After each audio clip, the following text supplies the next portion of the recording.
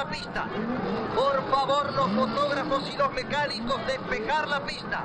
Por favor, despejar la pista.